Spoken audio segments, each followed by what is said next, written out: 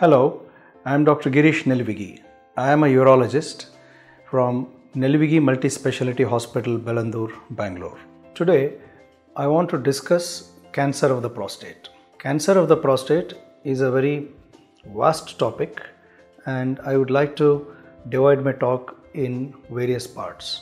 I would like to talk on locally confined cancer of the prostate, locally advanced cancer of the prostate, and metastatic cancer of the prostate. Prostate cancer is increasing number in all over the world and even in India.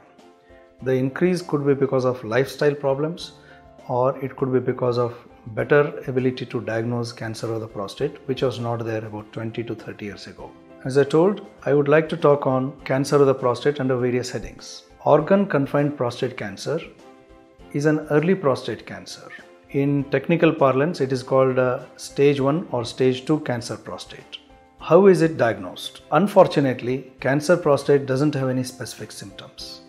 An elderly male will have problem in passing urine, he will have irritative symptoms while passing urine or obstruction while passing urine. But none of these symptoms are specific to cancer of the prostate. They can occur in any enlarged prostate, even when there is no cancer. Therefore, unless we do a every year a physical examination as well as a blood test to detect cancer of the prostate, we will not be able to diagnose cancer of the prostate in its early stage. Therefore, a yearly checkup with a urologist is important. The urologist does a digital rectal examination by putting a finger in the rectum and feels the prostate. If the prostate feels abnormal, in the sense if it is hard or if there is nodule, he suspects cancer of the prostate and orders a blood test called serum PSA or prostate specific antigen. If it is found to be abnormal, he will confirm that there is cancer by doing a biopsy of the prostate. Biopsy of the prostate is done under local anesthesia. It is done under ultrasound guidance as an OPD procedure.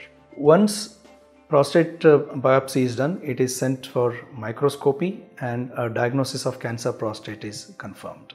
After that, one would like to know what is the stage of the cancer, whether it is confined to the prostate, whether it is spread to the neighboring organs, or whether it is spread to distant organs.